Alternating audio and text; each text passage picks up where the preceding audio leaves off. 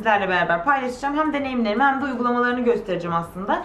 E, Fenty Beauty biliyorsunuz ki Rihanna'nın, Rihanna'nın, Riri'nin e, markası. E, farklı bir bakış açısı getirerek kendi markasını çıkardı. Çünkü e, ondan önce de evet birçok markada farklı e, ten renkleri ve koyu tonlar vardı. Ama onunla beraber biraz kozmetik dünyasının artık e, çok koyu tenlerinde bir gücü olduğunu ve bunların da farklı ürün gruplarına ihtiyaç olduğunu insanlar anladı. O yüzden markanın temsil ettiği e, şey önemli. Bu yüzden biraz fazla ses getiriyor diye düşünüyorum. Aynı zamanda tabii ki Rihanna'nın markası olduğu için ses getiriyor yani bir yandan da. Onu göz ardı etmezsek böyle e, pozitif yanları da var markanın. Onun dışında e, birçok defa izlemişsiniz veya yabancı YouTuber'ları izliyorsunuz. Artık Türkiye'de de olduğuna göre e, diğer arkadaşlarım da Türk YouTuber arkadaşlarından da izleyeceksiniz, göreceksiniz. Ben de kendi deneyimlerimi anlattım ürünlere karşı. Ben de fondöten, stick, gloss ve e, kırmızı likit ruju vardı. Bugün yüzümde gördüğünüz makyajı onlarla yaptım. Umarım video hoşunuza gider ve eğer merak ediyorsanız izlemeye devam edin derim. Hoşçakalın. Şimdi fondötenden başlayacağım haliyle cildi yapacağım öncelikle. Ama e, iki farklı baz uygulamak istiyorum. İki farklı bazda da performansını biraz anlatmak istiyorum sizlere. İki farklı bazdan kastım biri gözenek bazı olan e, Make Up Forever'ın e, Smoothing Primer'ı. Diğeri ise Bobbi Brown'un Vitamin Enrich e, Primer'ı. Bu fondöteni daha doğal gösteren, bu ise gözenekleri daha küçük gösteren, daha pürüzsüz bir efekt veren e, bir iki baz. Ben cildimi çoktan nemlendirdim. Tabii ki üstüne uygulayacağım nemlendirdiğim cildin. Sol tarafa gözenek bazını uyguluyorum. Diğer tarafı ise e, Bobbi Brown Vitamin Enrich uyguluyorum. Biraz daha yakınlaştım ki yapısını çok daha net görün. Fondöten ise bu. E, Pro Filter Soft Matte Long Wear Foundation Shake Well Being Aether bıdı bıdı bir şeyler yazıyor. İyice takip olun. Şimdi ben bunu incelemelerini izleyeli çok olduğu için ben 190 rengini aldım. Ama unutmuşum. Bunun oksitlendiğini. Haliyle bakın ilk uyguladığım zaman tenimde çok güzel duruyor. Ten rengi olarak güzel bir şey seçmişim. Ama keşke unutmasaydım ee, dedim.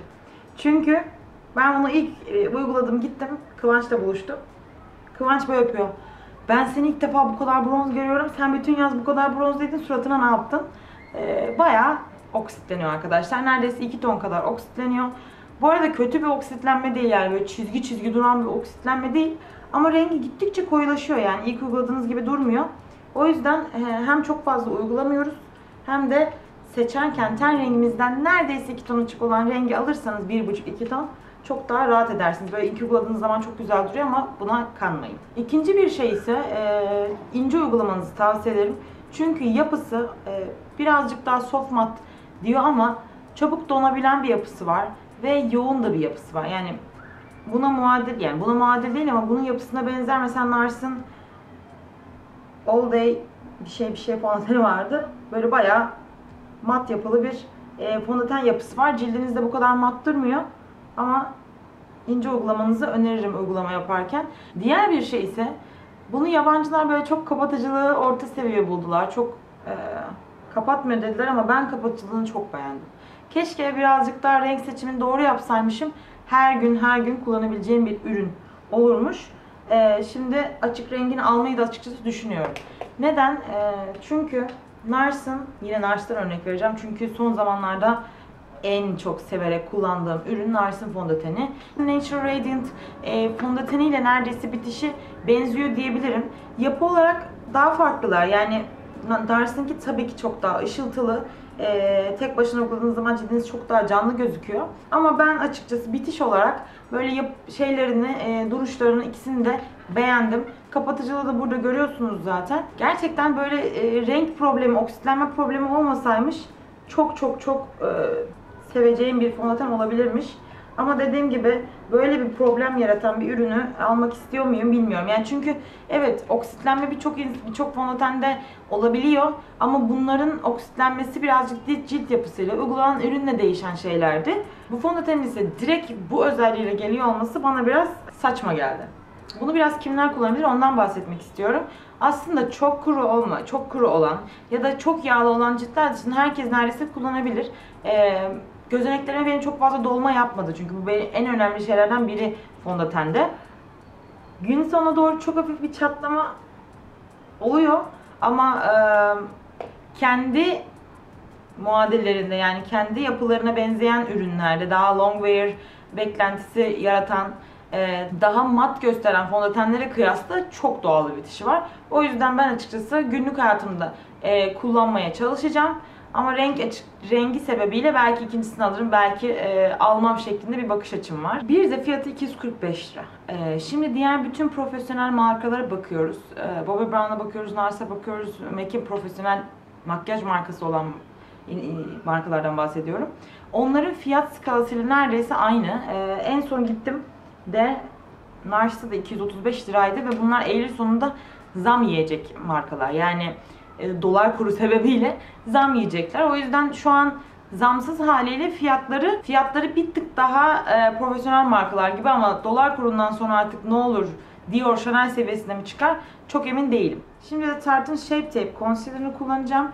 Ben bunu ilk sürdüğü uyguladığım gün göz altıma sanırım biraz fazla pudra uyguladığım için göz altım çok böyle tok duruyordu. Ee, daha kuru bir yapıya sahipti. O yüzden bugün birazcık daha dikkatli olacağım bu konudaki. Bakalım e, ikisinin uyumu nasıl olacak bu concealer ile. Biraz daha aydınlatmak için Fair Natural rengini e, uygulayacağım tabii ki. Sıra geldi sticklere. Sticklerden ben iki tane renk aldım. Bir amber, diğeri de Star Trek. E, amber rengini gerçekten merak ettiğim için ve başkalarına uygulama yaptığım için e, aldım. Çünkü benim ten rengimde olmayacağını biliyordum. Yine de dedim ki yani ben kendimde gölge rengi olarak kullanırım. Bronzer gibi kullanmam. Çok açık tenlilerde de e, bronzer gibi kullanabilirim diye düşündüm. Çünkü e, çok açık tenler biliyorsun soğuk alt tonlu olduğu için onlara sıcak bronzerlaydı. Benim elimdeki bronzerlar mükemmel olmuyordu. Şöyle dağılmış halini de göstereceğim size. Bayağı mor yani. Ee, daha gri bekliyordum. Birazcık daha içinde kahvelik olur diye bekliyordum. Benim beklentimden çok daha mor duruyor. Benim ten rengim koyu olduğu için e, çok açık tenliyseniz, işte bu fondötende en açık tonlardan alıyorsanız evet uygulayabilirsiniz. Ancak e, benim gibi orta tonlardaysanız, buğday tenliyseniz, sarı alt tonluysanız birincisi mükemmel olacak bir ürün değil. Ben yine de e, uygulamasını göstereceğim. Kullanılmaz değil ama yani buna kalkıp 169 lira bu arada bunun fiyatı da. 169 lira bu rengine vermeyin. Diğer renkleri denedim. Onlarda çok güzel renkler var. Bir sonraki sefer belki onlardan alıp onları da zaten hani aldığım ürünü deniyorum burada. Onu da e, denerim. Şöyle bakın. Görüyor musunuz? Mor gri yani. Pek e, iç açıcı değil. Dağılınca o kadar kötü durmuyor tabii ki. Ama e, benim beklentimi karşılamadı. Ben olsam, e, yani ben olsamdan kastım. Sizin yerinizde olsam ten rengime uygun olan, ten rengimden birazcık daha koyu olan renklerini edinirdim. Çünkü yapı olarak güzeller. Diğer e, elimde olan sticklerle karşılaştırıyorum. Bu birazcık daha sert yapılı. Ama sert yapılı olmasına rağmen sizi rahatsız eden, dağılması zor olan bir yapısı da değil. Genelde bu tarz stickler birazcık daha zor zor dağılıyor ama ben açıkçası zor dağıldığını düşünmüyorum. Yine de aşırı kremsi de değil tabii ki. Bir diğer yandan e, fondötenle uyumu da zaten sticklerin çok güzel. Aynı marka içerisinde oldukları için herhalde onun formülasyonunu düzgün yapmışlardır diye düşünüyorum. Üst üste uyguladığınız zaman e, fondöteninizi soymuyorsunuz ya da fondöteniniz bir yere gitmiyor. Tabii ki e, fırçanızı ne kadar sert kullandığınızla da alakalı. Ben Beauty Blender'la da dağıttım. Onunla da çok güzel dağılıyor. Şimdi benim bu e, stickte en sevdiğim şey burun kontürü oldu açıkçası. Hem birazcık daha küçük bir ucu olduğu için hem de bu kadar açık renk bir griyi kullanabileceğim çok güzel bir alan var artık. Çünkü diğer bronzerlar burnunda biraz sarı bir görüntüye sebep oluyordu ama ben e, daha gölgeli durmasını istiyordum. O yüzden bunu daha çok burun kontürü için kullanıyorum. Şimdi e, göstereceğim. Çok güzel bir algı yanılması yapıyor ve eskiden burnumu bu kadar inceltemiyordum mesela. Şimdi çok çok daha ince gösterebiliyorum bu tarz bir renk ile gömdüm ama iyi yanı da söylüyorum. Elimde Make Up Forever'ın transparan pudrası var. Şimdi gözaltımı onunla e, sabitleyeceğim. Ben böyle e, pudrayla diğer parlama yapabilecek bölgeleri de sabitliyorum. Neden? E, çünkü fondöten gün sonuna doğru gerçekten parlama yapıyor. E, benim cildim çok yağlanmıyor ama gün sonunda diğer fondötenlerle de olduğu gibi parlama e, yapan bir cildim var. Çünkü hem makyaj oturuyor hem cildim birazcık daha yağ üretmeye başlıyor, başlıyor. Ama benim cildim çok karma ve yağlı değil. Buna rağmen böyle bir parlama yapıyorsa yağlı ciltlerin kesinlikle pudra ile desteklemesi gereken bir fondöten aynı zamanda. İşte bu yüzden birazcık daha e, şey değil. İlk tercih olabilecek bir fondöten değil. Çünkü çok fazla şey yapmanız lazım. Seçerken e, rengini doğru seçmeniz lazım. Uygularken e, işte doğru nemlendiricilerle beraber uygulamanız lazım. Cildinizi iyi nemlendirmeniz lazım. Çünkü daha mat ve e, çabuk dağılmayan yani çabuk donan bir yapısı var. O yüzden de üstüne e, yağlandığı zaman parlama opsiyonu var. Mükemmel bir fondöten değil yağlı ciltler ve karma fondöten, karma ciltler için. O yüzden e, böyle şey şey diyemezsiniz hani favori fondötenim. Bu olabilecek bir fondöten değil. Yine de bütün şartları sağladığınız zaman sonucundan hoşlanabileceğiniz bir ürün. Ben yanlışlıkla göz pınar Biraz önce yanlışlıkla göz pınarlarımı e, aydınlattım. Unutmuşum highlighter göstermeyi. Şimdi diğer highlight işte şimdi çok daha güzel uygulayabilirim. Zaten Fix Plus'a sıktığım an böyle cildimde e, yumuşadı ürün. Bu da çok zor. Yani e, şöyle söyleyeyim. Bu tarz ürünleri aldığınız zaman günlük uygulamada uygulayabileceğiniz bir ürün değil bu. Yani profesyonel bir uygulama istiyor. Öyle "Aa, sildim çık çık çık dağıttım çıktımlık bir ürün e, değil stikleri bence. Belki e, şeyler olabilir. Bu kontür ürün olarak kullanacaklarınız olabilir ama highlighterları büyük bir uğraş gerektiriyor. Bana sorarsanız. Yani benim fikrim bu. Bunu elimle ısıtacağım. Sonra parmağımla teker teker dağıtacağım. Sizin günlük hayatınızda tercih edebileceğiniz bir uygulama mı emin değilim. Ben hani bununla yaşıyorum. O yüzden yapıyorum. İşe geç kalırken ya da e, iki dakika yapacağınız makyajda bunu ne kadar tercih edersiniz gerçekten emin değilim. Ama ben dediğim gibi ışıltısını sevdim. Günlük hayatımda kullanırım. Çünkü bu kadar yoğun bir e, highlighter görünümünü normal bir stickten ya da normal bir krem highlighter'dan alamıyorum. Ben simsim durmasını da açıkçası çok da umursamıyorum. Yani bana göre fotoğrafta düzgün çıksın yeter. Göz pınarıma biraz önce yanlışlıkla far uyguladım ama bu ürünü de yine göz pınarıma uygulamak istiyorum. O yüzden e, fırçamı alacağım. Bunu uygulayacağım. Üstüne uygularsam daha da güzel gözüküyor. Hemen şimdi kaşlarımı da bir doldurayım. Ee, daha sonra eyeliner'a geçeceğim. Yine de eyeliner uygulayacağım. Ee, neden bilmiyorum. Canım eyeliner uygulamak istedi. En kolay görünümün bu olacağını düşünüyorum bu e, deneme makyajında. Maybelline Master e, Precise All Day Matte olan eyeliner'ı kullanıyorum.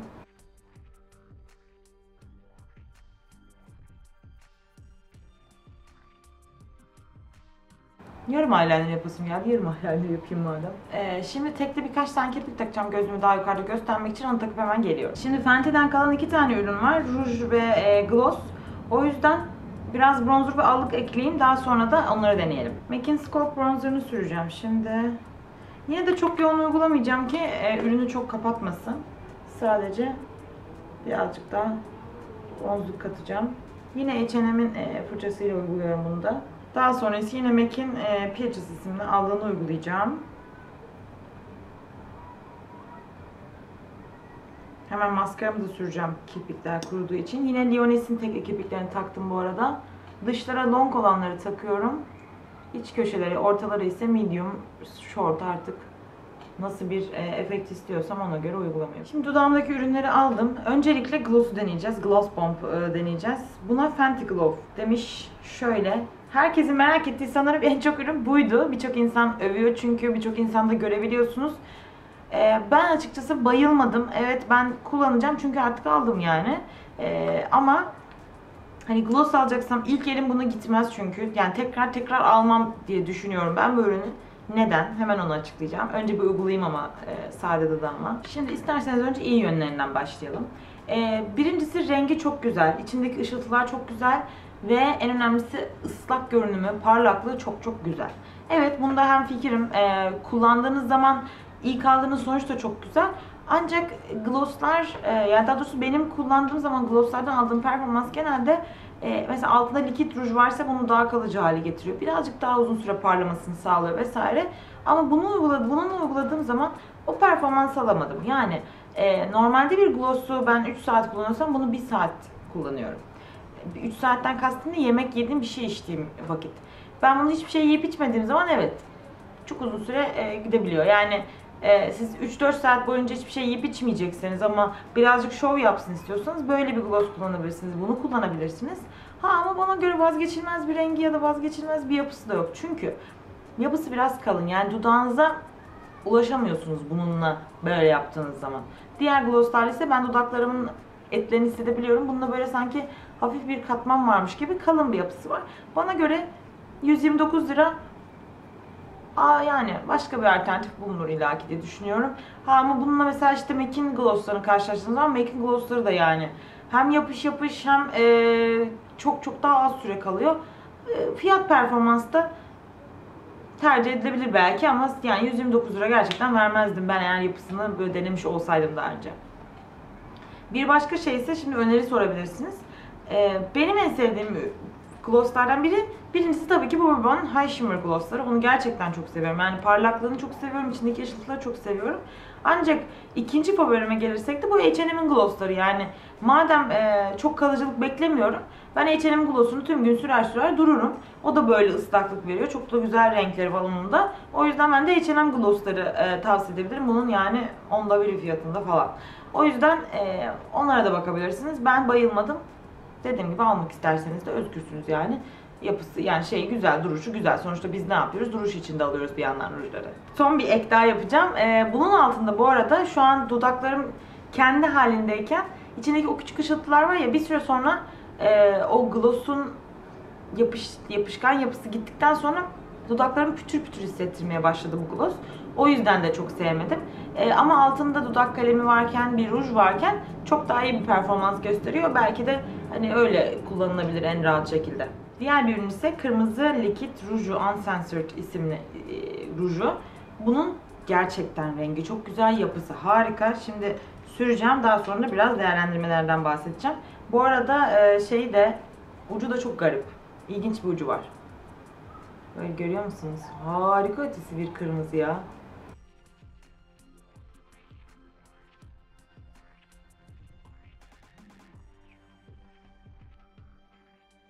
Bak üstü sürdüm o kadar şimdi aşağı geçtim. Aşağıda da asla yeniden sokmadım içine.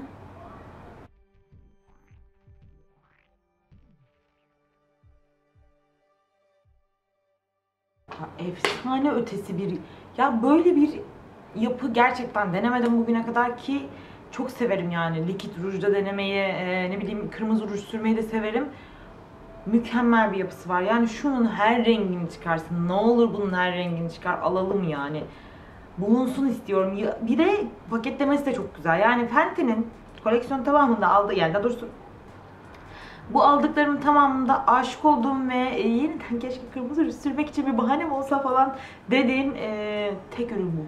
Bu yani. Bunu sürmek istiyorum. Sürekli bunu sürmek istiyorum. Her dakika. Çok güzel. Kadife gibi ama dudaklarınızı asla kurutmuyor. Likit ruj olmasına rağmen kat kat uygulama yapabiliyorsunuz ve yine e, kalın bir yapıya sahip değil. İncecik bir yapı ama örtücülük çok iyi, çok maksimum seviyede. Ve Dolma yok. E, bir ikincisi uygulaması çok kolay çünkü ucu fırça gibi e, yani sanki ruj fırçasıymışçasına çok keskin şeyler yapabiliyor. Ben bayıldım ona. Bu bayıldım ama bunun da bir kötü bir özelliği var. Ne? Dağılıyor. Ee, hem dağılıyor hem de içtiğiniz yediğiniz her şeye bulaşıyor. Ama kırmızı ruj bu risk alacaksınız biraz. Yani e, kremsi formda bir ruj sürdüğünüz zaman da işte Mac'in Ruby Woods'unu sürdüğünüz zaman da aynı şey oluyor. Pastelin işte e, 9 numarasını sürdüğünüz zaman da aynı şey oluyor. Değiyor yani bir yerlere. Ama hiçbiri bu kadar rahat hissettirmiyor. O yüzden renk olarak mükemmel. Yani kırmızı ruj seviyorsanız alın yani. Gerçekten bunu ilk defa bir ürün için bu kadar e, canlı gönülden söylüyorum. Kırmızı ruj seviyorsanız bu renge bayılacaksınız. Uygulamasına bayılacaksınız. Harika ötesi bir şey. Yani bu gloss'a yürüyeceğinize e, bu kırmızı ruju yürüyün. Çok iyi. Ha bunu gerçekten bir e, buluşma akşamı denemeyin. Çok gerçekten çok geçiyor. Şöyle bir elimin üstüne göstereceğim. Şöyle. E, hala tamamıyla kurumadı tabii ki. Burada e, elimi öptüm bu arada.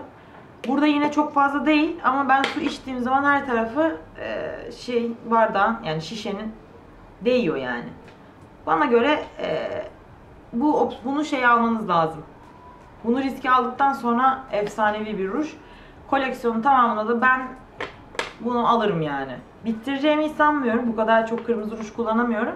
Ama buna büyük yürüdüm. Büyük hoşuma gitti. Çok hoşuma gitti. Bir de highlighter çok hoşuma gitti. Ee, umarım video hoşunuza gitmiştir olabildiğince e, böyle incelemeye çalıştım. Unuttuğum noktalar varsa da aşağıya notlar olarak yazarım diye düşünüyorum. Çünkü o bir kağıda yazıp anlatmadığım için direkt hem uyguladı, uygulayıp hem de öncesinde neler e, kafamda not etmiştim hem de şu an neler oldu gibi anlatmaya çalıştım. Beğendiyseniz videoyu lütfen beğen tuşuna basmayı ve kanalıma abone olmayı unutmayın. Bir sonraki videoda görüşmek üzere. Hoşçakalın.